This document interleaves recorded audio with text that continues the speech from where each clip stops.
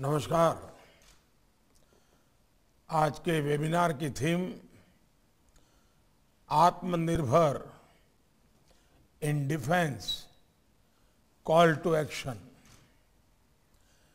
देश के इरादों को स्पष्ट करती है। बीते कुछ वर्षों से भारत अपने डिफेंस सेक्टर में जिस आत्मनिर्भर निर्भरता पर बल दे रहा है, उसका कमिटमेंट आपको इस वर्ष के बजट में भी दिखेगा। साथियों, गुलामी के कालखंड में भी और आज़ादी के तुरंत बाद भी हमारी डिफेंस मैन्युफैक्चरिंग की ताकत बहुत ज़्यादा थी। दूसरे विश्व युद्ध में भारत में बने हथियारों ने बड़ी भूमिका निभाई थी। हालाँकि बाद के वर्षों में हमारी ये ताकत कमज़ोर होती चली गई। लेकिन ये दिखाता है कि भारत में क्षमता की कभी कमी न तब थी, न कमी अब है। साथियों,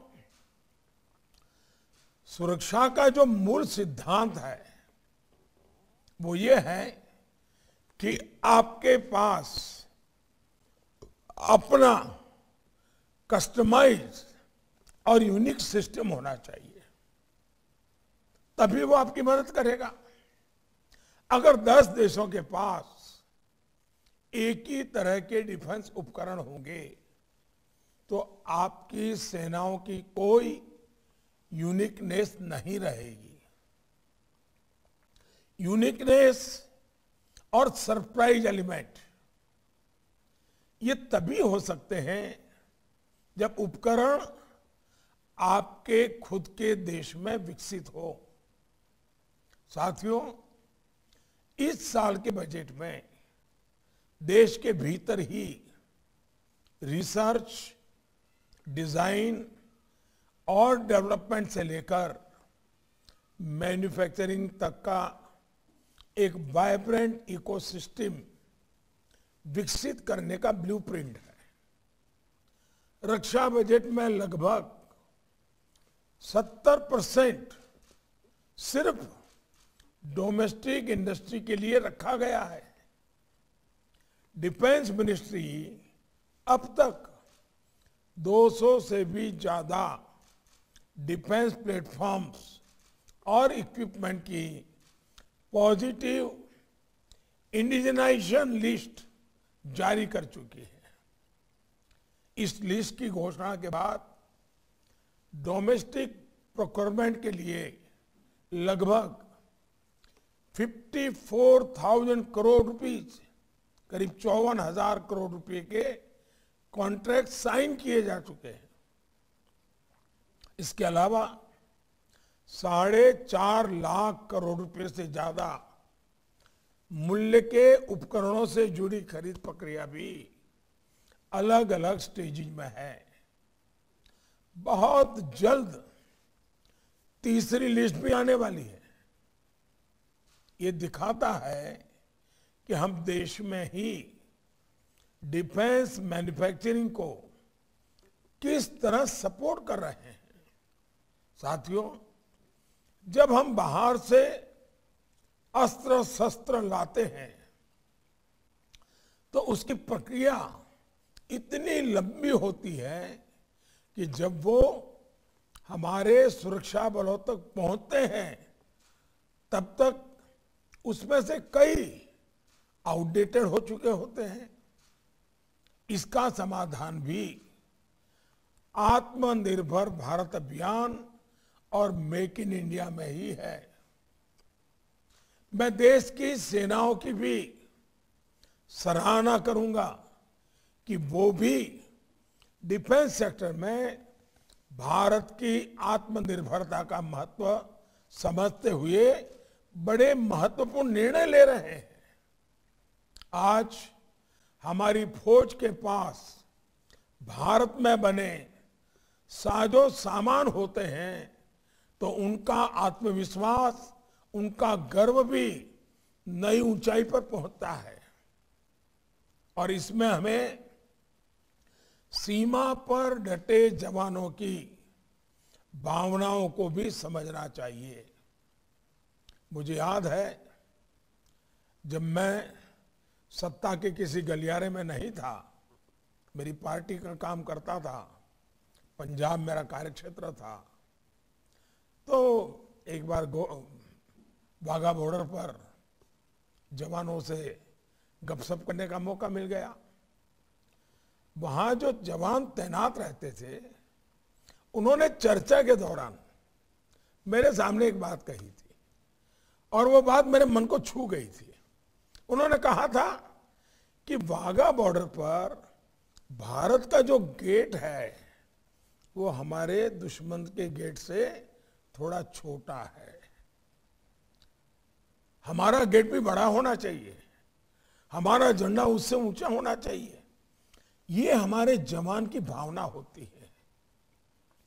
हमारा देश का सैनिक इस भावना के साथ सीमा पर डटा रहता है। भारत में बनी चीज़ों को लेकर उसके मन में एक अलग स्वाभिमान होता है। इसलिए हमारे जो रक्षा उपकरण होते हैं, उनके लिए हमें अपने सैनिकों की भावनाओं का आदर करना चाहिए। ये हम तभी कर सकते हैं जब हम आत्मनिर्भर होंगे। साथियों, पहले के जमाने में युद्ध अलग अलग तरीके से होते थे। आज अलग तरीके से होते हैं। पहले युद्ध के साजो सामान में परिवर्तन आने में दशकों लग जाते थे। लेकिन आज युद्ध के हथियारों में देखते ही देखते बदलाव आ जाता है। आज जो शस्त्र है, उन्हें आउट ऑफ़ डेट होने में समय नहीं लगता है।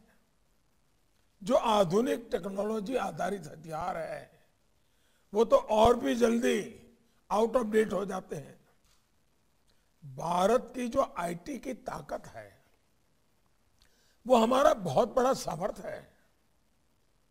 इस ताकत को हम अपने रक्षा क्षेत्र में जितना ज़्यादा इस्तेमाल करेंगे, हमें उतने ही सुरक्षा में हम आश्वस्त होंगे।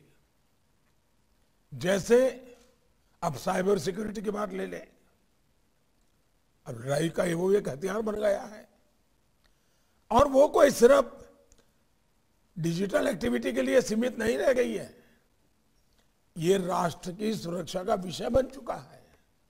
साथियों ये भी आप भली बात ही जानते हैं कि डिफेंस सेक्टर में हमेशा किस तरह का कंपटीशन रहा है। पहले के समय में बाहर की कंपनियों से जो जामान सामान खरीदा जाता था, उसमें अक्सर भांति भांति के आरोप लगते थे। मैं उसकी गहराई में जाना नहीं चाहता हूँ।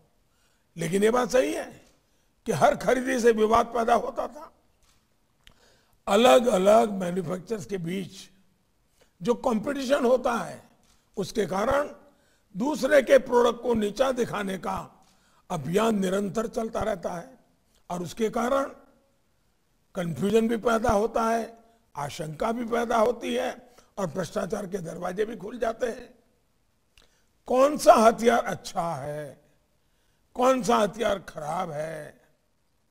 कौन सा हथियार हमें उपयोगी है, कौन सा उपयोगी नहीं है, इसे लेकर भी बहुत कंफ्यूजन क्रिएट जाता किया जाता है। बहुत योजना पूर्वक किया जाता है।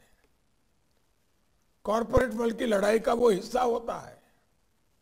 आत्मनिर्भर भारत अभियान से हमें ऐसी अनेक समस्याओं का भी समाधान मिलता है।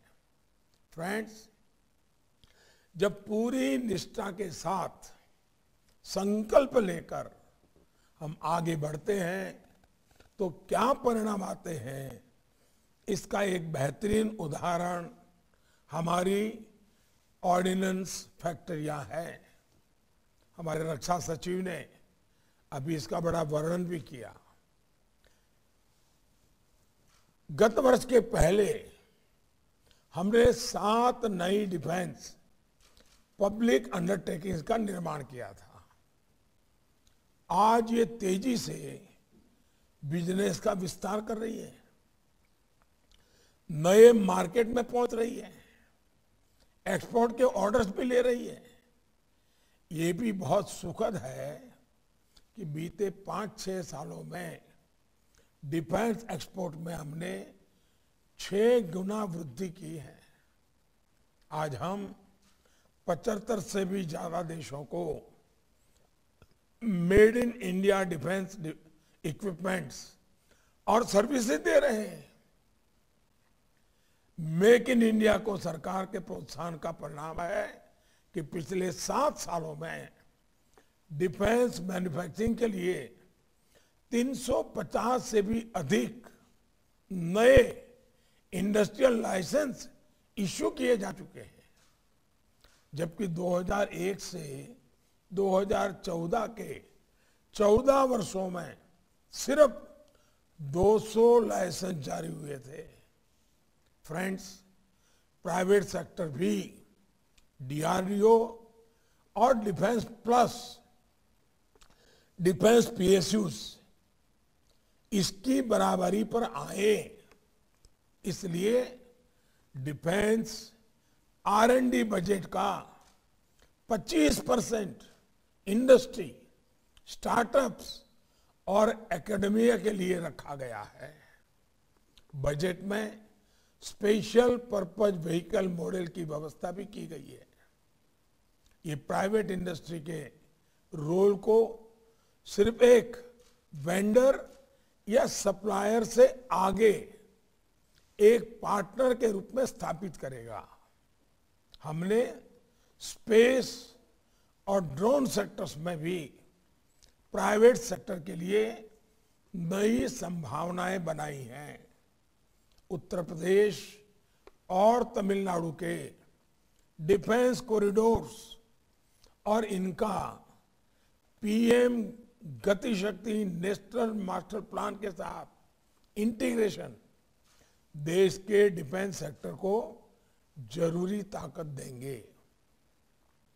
साथियों ट्रायल टेस्टिंग और सर्टिफिकेशन की व्यवस्था का ट्रांसपेरेंट टाइम बाउंड प्रेगमेटिक और निष्पक्ष होना एक वाइब्रेंट डिफेंस इंडस्ट्री के विकास के लिए बहुत ज़रूरी है। इसके लिए एक इंडिपेंडेंट सिस्टम समस्याओं को दूर करने में उपयोगी सिद्ध हो सकता है। इससे देश में ज़रूरी स्किल सेट के निर्माण में भी मदद मिलेगी। फ्रेंड्स आप सभी से देश की बहुत सारी उम्मीदें जुड़ी हुई हैं। मुझे विश्वास है कि इस चर्चा से डिफेंस सेक्टर में आत्मनिर्भरता के लिए नए रास्ते बनेंगे। मैं चाहता हूँ, आज सभी स्टेक होल्डर से हम सुनना चाहते हैं। हम आप लोगों को लंबे भाषण देना नहीं चाहते हैं। ये आज का दिवस आपके लिए है। आप प्रैक्टिकल चीज़ें लेकर के आइए, बताइए। अब बजट निर्धारित हो चुका है। एक अप्रैल से नया बजट लागू होने वाला है। हमारे पास तैयारी के लिए ये पूरा महीना है। हम इतना तेज़ी से काम करें कि एक अप्रैल से ही चीज़ें ज़मीन पर उतरना शुरू हो जाए। ये ये जो एक्सरसाइज है ना, इसलिए है। हमने बजट को भी एक महीना प्रीपोन करने की पद्धति डेवलप की है।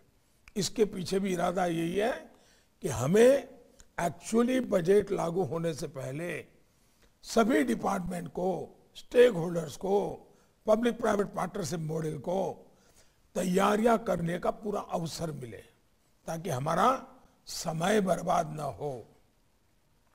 मैं आप सबसे आग्रह करता हूँ, ये देशभक्ति का काम है, ये देश सेवा का काम है। हम आइए मुनाफा कब होगा, कितना होगा, वो बाद में सोचिए। पहले देश को ताकतवर हम कैसे बनाएँ, इस पर सोचिए। मैं आपको निमंत्रण देता हूँ और मुझे खुशी है कि आज हमारी सेना सेना के हमारे तीनों अंग बड़े उमंग और उत्साह के साथ इन कामों में पूरी इनिशिएटिव ले रहे हैं, प्रोत्साहन दे रहे हैं। हम ये मौका हमारे प्राइवेट पार्टी के लोगों ने खोना नहीं चाहिए। मैं फिर एक बार आपको निमंत्रण देता हूँ। मेरी आप सबको बहुत बहुत शुभकामनाएँ। धन्यवाद।